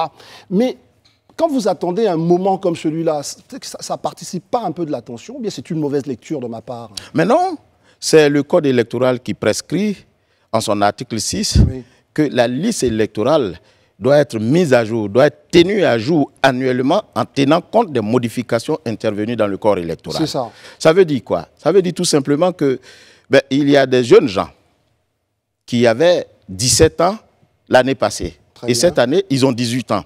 Mais il faut les mettre à mesure d'exercer leur droit fondamental, qui est de choisir celui qu'ils veulent voir à la tête du pays. Mais ça, vous, Et- pourrez- vous auriez pu le faire peut-être l'année d'avant. Est-ce que vous l'avez fait chaque année? Mais l'année d'avant, il n'a pas 18 ans. Non. C'est cette année qu'il a 18 ans. Non, je comprends pour, pour monsieur, mais il y, a, non, il y a certains qui ont eu 18 ans. Voyez, Oui. Le sens de ma question, c'est est-ce que le fait de cristalliser comme ça toutes les attentions sur un moment comme ça national, c'est pas tout ça qui participe et peut-être que la CEI devait- devrait dire, nous, on va désamorcer tout ça. Nous, chaque année, on fait notre révision et tout le monde est tranquille. Mais c'est ce que nous faisons. Chaque année, vous le faites. Chaque année, nous, nous essayons de le faire. Ça, je, je- je- je vous le concède. Nous essayons de le faire parce que c'est ce que la loi dit. Très bien. Que annuellement, il faut faire la révision de la liste électorale. Mais il arrive que euh, la population ne soit pas intéressée à un moment donné. Voilà pourquoi nous sensibilisons. Nous amenons la population à comprendre que l'élection, mais c'est une aubaine pour le citoyen de choisir celui qu'il veut voir à la tête du pays. Donc, c'est une, euh, je peux dire, pour parler comme les religieux, mais c'est une grâce. Très bien, Voilà. très bien, c'est une grâce. Aujourd'hui, les Ivoiriens sont là, ils regardent, ils vous voient sur tous les plateaux. Dites-nous, comment se porte la commission, cette commission, au fond, qui nous est chère, mais qui parfois, euh, on l'ignore un tout petit peu, on ne sait pas comment elle fonctionne. Comment elle se porte Vous qui êtes censé en parler, comment elle se porte, cette commission? Ben, la Je commission se porte très bien. Oui. La preuve en est que tous les commissaires sont sur toute l'étendue du territoire, Oui. par Mont et par Vaux, en train de porter la bonne nouvelle qui est celle de sensibiliser la population à venir s'inscrire sur la liste électorale pour choisir le candidat qu'ils veulent voir à la tête du pays ou dans leur circonscription. Ma question aussi, vous savez, c'est ceux qui ont prêté serment, qui sont dans la commission centrale, ils sont tous là? Oui, ils sont tous Ils là. sont tous là. Ils sont tous là. Nul ne fait défaut Non. en raison de son parti politique ou d'une consigne de parti politique qui violerait justement le serment qu'il a pris. Non, mais en réalité, les commissaires, Oui. quand ils arrivent à la commission électorale indépendante, n'ont aucun lien, ne doivent avoir aucun lien avec les partis politiques. Parce que les partis, ils ne sont pas représentants des partis politiques. Oui. Par le passé, ils l'étaient. Et au regard de ce qui s'est passé, le législateur a révisé sa position. Désormais, le commissaire au sein de la commission électorale n'est pas le représentant, mais la personnalité choisie par les partis politiques. Et ce faisant, quand il arrive pour exercer son office, il prête serment, Oui. lequel serment rompt son lien avec le Avec parti. parti. Voilà, Très bien. c'est ça. Très bien là-dessus. Mais il est aussi bon, Oui. M. Boa, que les uns et les autres comprennent qu'on n'interdit pas à un citoyen de faire son choix. Mais c'est la manifestation publique de l'appartenance à un parti politique qui est proscrite. Mais sinon, le citoyen est en droit de choisir un candidat, mais en le faisant, bien sûr. voilà, en le faisant, il fait de la politique. Mais ce qu'on interdit aux membres de la commission électorale indépendante, c'est d'être encarté et de manifester son appartenance à un parti Très politique. bien, ça on l'a compris. On va rentrer maintenant dans l'actualité. L'actualité, c'est la préparation de ce processus d'enrôlement Oui. que vous avez lancé. Ça se passe comment? On entend euh, certains partis, c'est ma question en deux volets. hein. Certains partis politiques pardon, disent euh, je vais mobiliser mes militants. Mhm. Vous avez un discours, c'est de mobiliser tous les Ivoiriens. Oui. Est-ce que ça, déjà, ce n'est pas une forme d'entorse à ce processus que vous voulez rendre beaucoup plus inclusif? Parce qu'eux, ils s'adressent à leurs militants. Je ne vous dirais pas de critiquer cela, mais est-ce que ce n'est pas une petite entorse pour vous? Non, pas du tout. Les partis politiques, quand ils disent euh, qu'ils s'adressent à leurs militants, ils n'ont pas intérêt à s'adresser seulement à leurs militants. Mm. Ils s'adressent à la nation, espérant que toute la nation soit leurs militants. Mm. C'est ça le sens. Ils veulent que toute la nation soit leurs militants. Vous faites le porte-parole de ces partis Ah politiques. ben oui, oui, oui, bien. oui. Voilà. Je vous le concède. Oui, en réalité, quand ils disent Oui. on, on- on va mobiliser nos militants, mais ils espèrent avoir toute la nation être leurs militants. C'est ça le sens. Subodorons que ce soit cela. C'est cela. Alors vous, de votre côté, vous vous dites, allez, en note de bataille pour ça. amener les Ivoiriens à le faire. Comment ça se passe en ce moment Les Ivoiriens, comment, comment vous sentez euh, donc les- l'avant-début véritablement de ce processus? Ah, mais on sent un engouement dans les écuries des partis politiques. Ouais. C'est d'ailleurs notre satisfaction. Voyez-vous, je vois quand nous venons sur les plateaux, c'est de dire à la population Oui. et aux partis politiques qui sont nos partenaires de sensibiliser les citoyens à venir s'inscrire sur la liste électorale qui est le seul moyen de revêtir la qualité d'électeur et de participer à la joute électorale. Donc pour nous, quand, les pop- quand la population accepte ce message, mais c'est déjà une satisfaction. Et nous avons constaté que les partis politiques, autant qu'ils sont, ont tous demandé à leurs militants, ils se sont tous organisés, ils ont mis en place euh, des scénarios permettant de capter le maximum des citoyens à venir s'inscrire sur la liste électorale. Et c'est toute euh, une grande satisfaction pour la commission électorale indépendante. C'est une grande satisfaction pour vous, vous dites, euh, Monsieur le Président.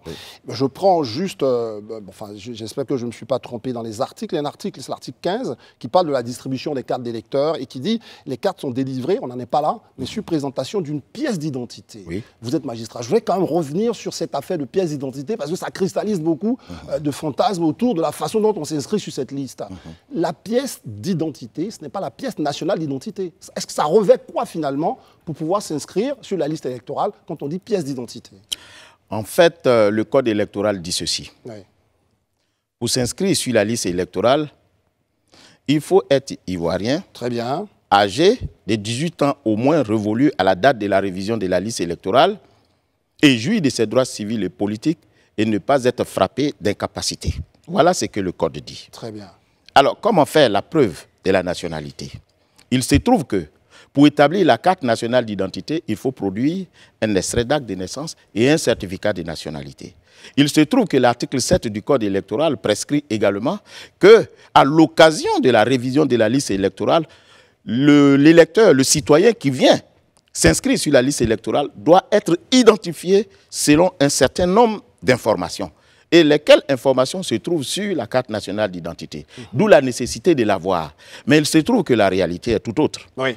Au point où on a constaté que bon nombre de nos parents ne disposent pas de cette carte nationale d'identité. Voilà pourquoi, en accord avec le gouvernement, nous avons proposé que, à défaut d'avoir la carte nationale d'identité, que le citoyen soit muni d'un récépissé attestant de son identité, ou à défaut d'une attestation d'identité, ou au mieux, dans le pire des cas, qu'il détienne un certificat de nationalité attestant de ce qu'il est ivoirien pour participer à la joute électorale et s'inscrire sur la liste ce électorale. pas ce qui, quand même, euh, parce qu'il y a certains partis politiques qui pensent que cet acte administratif, au fond, de- de- d'inscription sur la liste, est vraiment le Graal pour les élections. Donc finalement, est-ce que le fait d'édulcorer comme ça les conditions de ce document en disant on peut venir avec un certificat de nationalité sur lequel il n'y a pas de photo, est-ce que on- n'installe pas là les germes d'une future contestation, justement, de l'intégrité même de cette liste? Mais jusqu'à preuve du contraire, quand les, euh, euh, les citoyens n'ont pas la carte nationale d'identité, alors que ce n'est pas forcément la faute des citoyens eux-mêmes, ça peut être la faute à l'administration, comme la faute aussi aux, aux citoyens. Voilà pourquoi, pour éviter que ce soit un obstacle, on autorise, on autorise les citoyens à venir s'inscrire sur la liste électorale, même avec un, un simple certificat de nationalité ou une attestation d'identité ou un récépissé. C'est pour faciliter l'inscription massive des citoyens sur la liste électorale.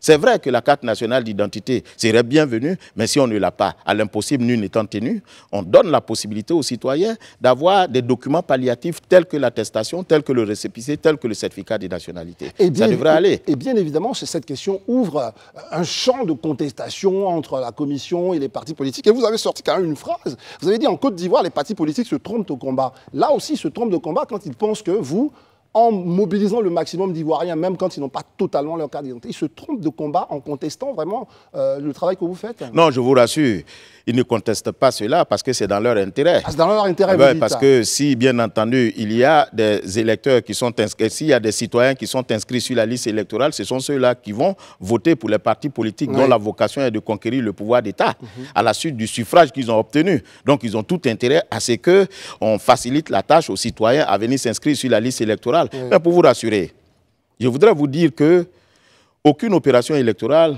ne se fait sans consultation avec les partis politiques.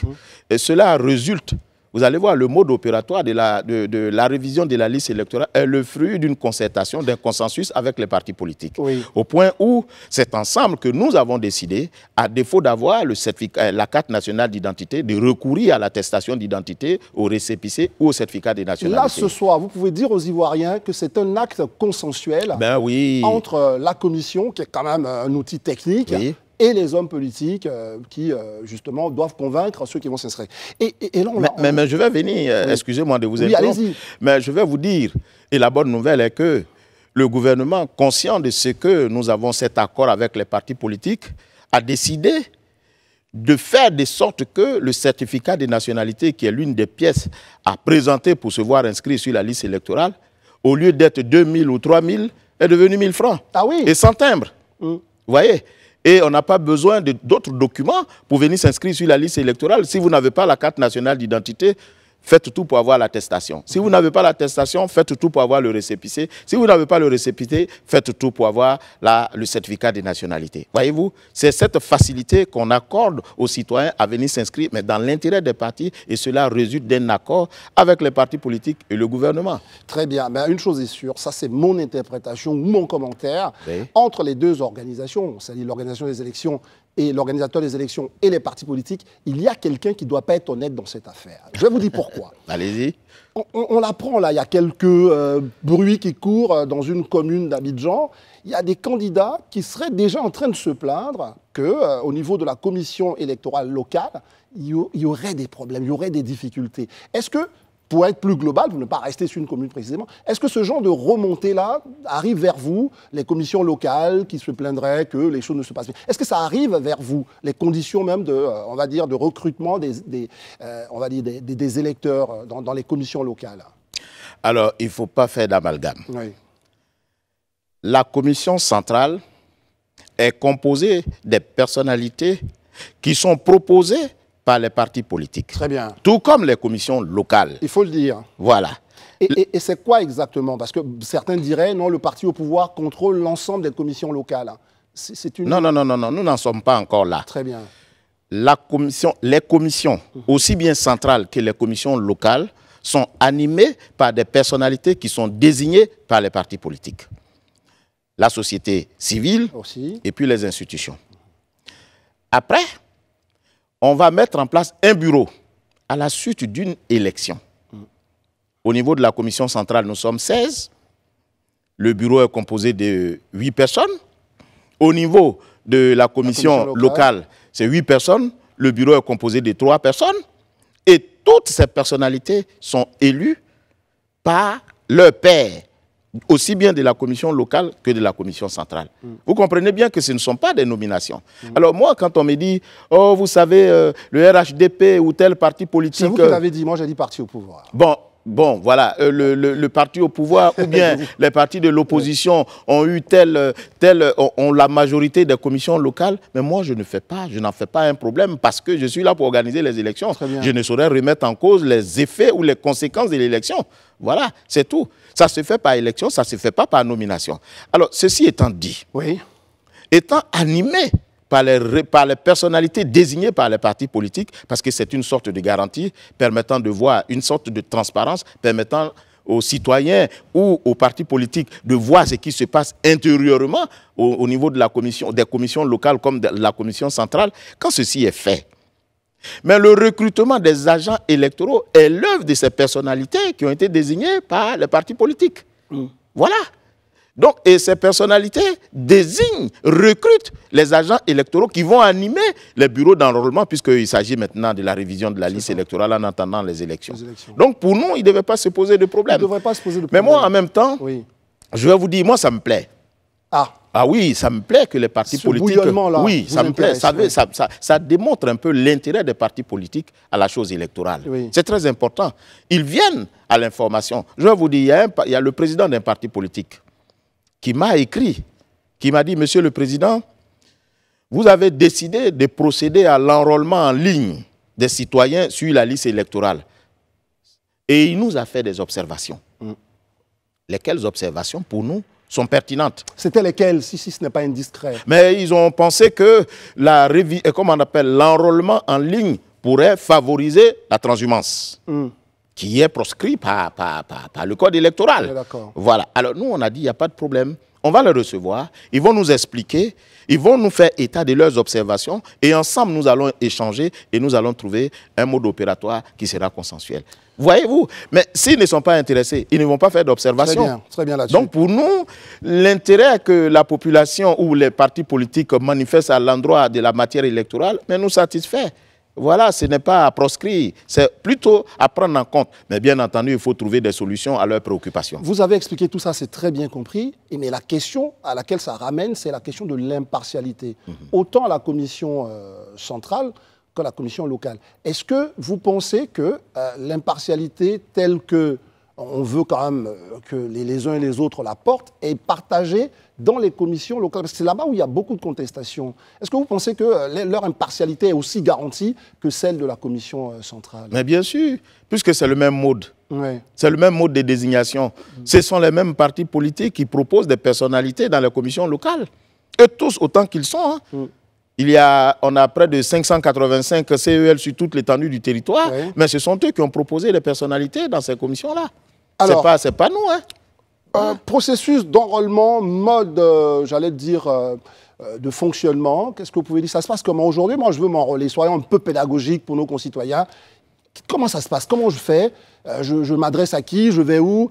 Digital ou pas? Enfin, comment Qu'est-ce que Alors, vous dire alors, alors, je voudrais dire, c'est vrai, nous avons commencé, mais il est bon de définir quand même la révision de la liste Très bien. électorale. La, la révision de la liste électorale peut se définir comme étant la mise à jour de la liste électorale en tenant compte des mutations qui peuvent intervenir. Et cette révision concerne deux grandes opérations. La première est celle de capter ceux qui ne sont pas sur la liste électorale, qui viennent s'inscrire pour la première fois. On en distingue deux catégories. Il y a les nouveaux majeurs et il y a, il y a les anciens majeurs qui, eux, pour des raisons qui leur sont propres, décident maintenant de venir s'inscrire sur la liste électorale. Ça, c'est la première opération qu'on appelle le recensement général. Mais la deuxième opération, elle concerne ceux qui sont déjà sur la liste électorale. Ce sont des citoyens qui sont inscrits sur la liste électorale, mais qui veulent actualiser leurs données personnelles. Par exemple, moi, je m'appelle Koulibaly, je me suis inscrit sous ce nom patronymique, et puis je fais une adjonction de nom. Je m'appelle Koulibaly. Ouais. Donc, je viens, à l'occasion de la révision de la liste électorale, réajuster mon nom, Mm. en produisant bien entendu l'acte qui l'atteste. Ça, c'est ce qu'on appelle l'actualisation des données personnelles de l'électeur qui se trouve sur la liste électorale. Il y a l'hypothèse de celui qui, étant à Cocody, il s'est inscrit sur la liste électorale. Et il connaît une promotion dans son travail, il est affecté par exemple à Yopougon ou bien à Korogo. Il veut changer de lieu de vote, il dit, mais moi je suis à Korogo, le vote va me trouver, mais je n'ai pas envie de, de ne pas voter, je veux voter. Donc qu'est-ce que je fais? Il vient donc solliciter, à l'occasion de la révision de la liste électorale, à la commission électorale, la possibilité d'échanger, Ouais. en produisant bien entendu la preuve qu'il est résident ou domicilié à Korogo. Ça, c'est l'hypothèse du changement de lieu de vote. Il y a l'hypothèse de ceux qui sont déchus de leurs droits civils et politiques. D'accord. Parce que l'article le dit très bien, le code le dit très bien. Pour s'inscrire sur la liste électorale, il faut juger de ses droits civils. ouais, Ben, quand on n'en a pas, à la suite d'une décision de justice, évidemment, on vous radie de la liste électorale. Et puis, le quatrième élément, c'est ceux qui ont cessé d'être des sujets de droit, c'est-à-dire qui sont décédés. Il faut les sortir de la liste électorale. Voilà les différentes étapes qui constituent, les différents objets qui constituent la révision de la liste électorale. Alors, quelles Comment sont... ça va se faire? Je vais me déplacer, je vais rester chez moi, le faire? Alors, on a deux possibilités. Très bien. La première possibilité, c'est de se rendre à nos guichets pour solliciter ceux dont je viens de parler. Soit vous êtes euh, nouvellement majeur, vous venez, ou bien vous êtes un ancien majeur, vous n'êtes pas sur la liste électorale, vous venez à notre guichet, ou bien vous voulez changer euh, de lieu de vote, vous venez à notre guichet, ou bien vous voulez actualiser vos données, vous venez à notre guichet. Ça, c'est la première hypothèse. La deuxième hypothèse, vous avez envie de changer mhm. des lieux de vote. Vous n'êtes pas obligé de vous déplacer. Vous le faites en ligne. Il faut détenir un téléphone, une carte d'électeur, et puis le document qui atteste de votre résidence dans le nouveau lieu, que vous, que vous scannez, et puis, bien entendu, vous téléchargez notre application et vous allez suivre les instructions pour aboutir, bien entendu, à votre enrôlement. Voilà comment ça se fait. Ça, c'est très bien, il faut que je m'arrête là-dessus, parce que je voulais vraiment connaître ces mots, parce que la crainte, sans doute, de certains partis politiques, mmh. c'est de se dire, eh, en ligne, qu'est-ce qu'on peut faire? Et là, tel que je viens de vous entendre, il n'y a que certaines modifications qu'on peut faire, mais pas toutes. Oui, bien sûr. Très bien. Alors, l'enrôlement en ligne n'est ouvert mhm. qu'à celui qui veut changer de lieu de vote. Très bien. Voilà. Celui qui vient s'inscrire pour la première fois ne peut pas s'inscrire en ligne. Celui qui vient changer ses données ne peut pas s'inscrire en ligne. Évidemment, celui qui est déchu de ses droits civils, lui non plus. Bon, donc euh, voilà, voilà, les cas. C'est seulement celui qui veut changer de lieu de vote qui peut s'inscrire en ligne en faisant bien entendu ce que je vous ai dit, c'est-à-dire euh, détenir un portable, sa carte d'électeur,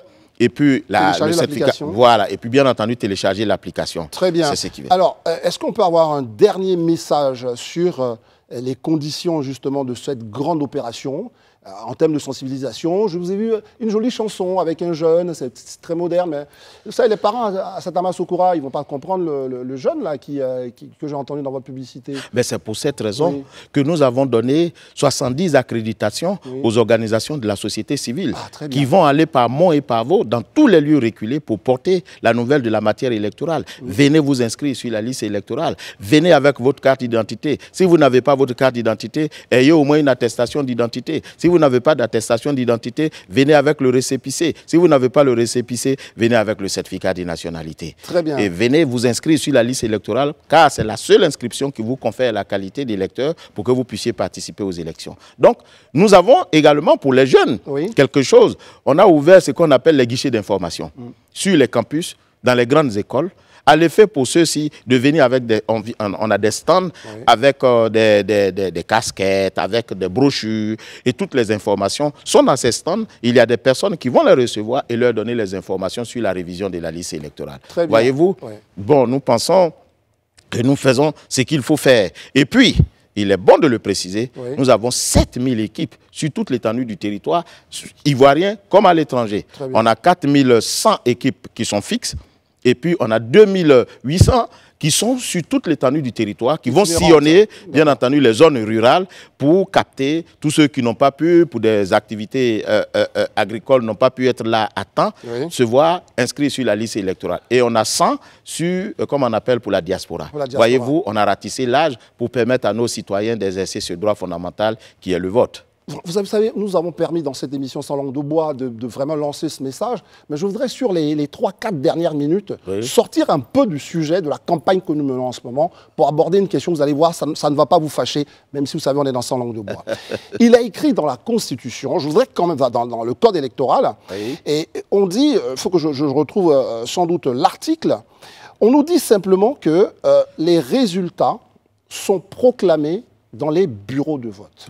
Je voudrais quand même sur ça que nous nous exprimions un peu, parce qu'il y a beaucoup de fantasmes autour de la question de la notion juridique de proclamation, et puis de ce qu'on peut entendre à la télé ou dans les journaux ou ailleurs.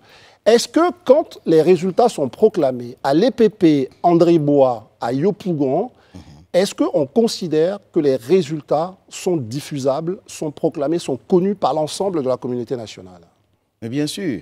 Mais pourquoi cela provoque problème et qu'on est obligé d'attendre la commission électorale nationale pour proclamer le résultat de Yopougon, alors que tout le monde sait, à Yopougon en tous les cas, tous ceux qui ont participé au vote savent que le résultat est connu.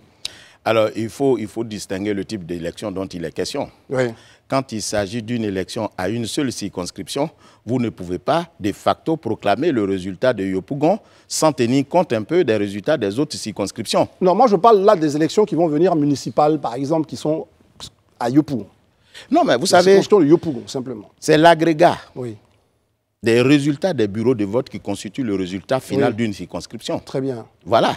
Et donc, les résultats sont proclamés dans chaque bureau de vote. Et après, on procède à la compilation. Oui. Alors, ce qu'il est important de faire, les, ceux qui proclament les résultats dans les bureaux de vote ne sont pas des agents de la commission électorale indépendante. On est d'accord. Voilà, ce sont des agents que nous avons recrutés à l'occasion. Très bien. Donc, c'est la Constitution qui prévoit que c'est à la commission électorale indépendante d'organiser des élections et de proclamer les résultats. Voilà pourquoi ce droit revient à la commission d'examiner, de vérifier si ce qui a été proclamé est ce qui est Mais conforme est-ce à que la loi. pas ça aussi, pour terminer là-dessus, qui crée une forme de, j'allais dire, de doute? Parce que les résultats ont été proclamés à l'EPP André Bois, à l'EPP euh, Koulibaly Cuibière, à l'EPP euh, Alassane Ouattara. Et donc, à Yopougon, on a, on a tous les résultats. Donc, Oui. on n'a pas besoin, techniquement, d'attendre la commission centrale pour connaître les résultats à Yopougon. Peut-être que ça aussi, ça fragilise voilà, la, la confiance. On, on attend la CEU, tout le monde est là, tremblant. Et ça, je pense que c'est de votre responsabilité de faire évoluer la question là-dessus. Oui, bon, jusqu'à ce que le test soit euh, différent, je crois qu'il y a des délais pour proclamer les résultats, parce Très que bien. je vois un peu ceux dont vous parlez. Très bien. Mais il y a un délai pour proclamer les résultats. Aujourd'hui, nous faisons mieux.